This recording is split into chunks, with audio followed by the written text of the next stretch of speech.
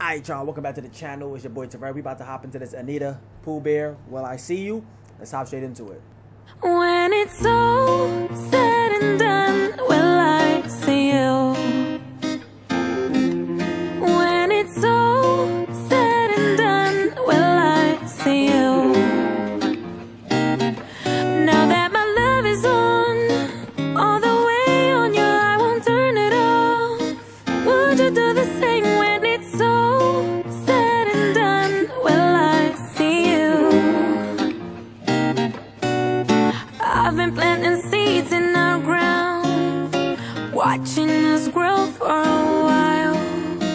Pray the sun stays shining down on us. I hope it do. We committed our trust out loud, like gravity. We swore to hold each other down. Build a circle, pray you always stay around. I do, Lord knows I do. Met you on the block. You ain't gotta hustle like that no more. I've been on a journey. I ain't trying to shore. Oh.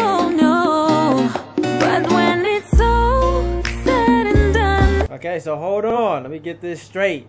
So basically, she compared her relationship to a planting to planting seeds and watching them grow. Cause you do grow in a relationship. So I guess that kind that part kind of like symbolizes the intention to build a strong and long lasting connection. So I like how she did that right there. That's pretty impressive, to be honest. And then she prays for what their love to continue uh um flourishing under the sun. So yeah.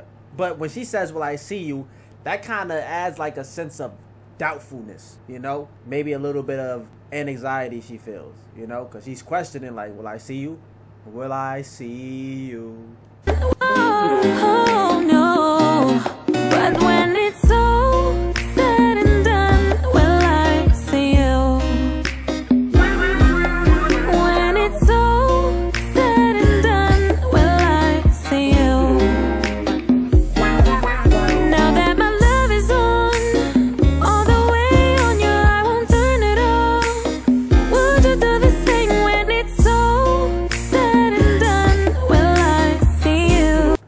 But then again, she kind of was also talking about how, like, her lover no longer needs to hustle. He no longer needs to hustle or, you know, I guess strive the same way he once did before. Because it kind of sounds like she's implying that she's achieved, like, a certain level of success, you know, or they achieved a certain level of success together, you know, so, yeah. Took away my insecurities. Arms became my security.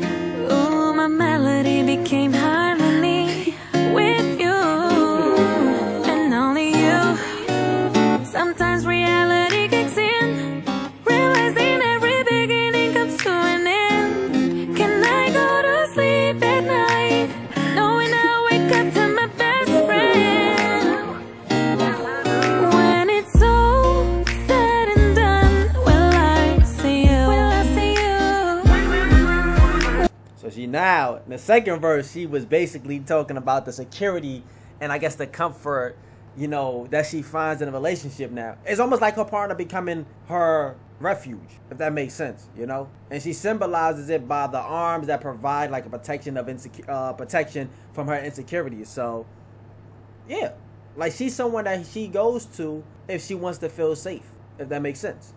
When it's all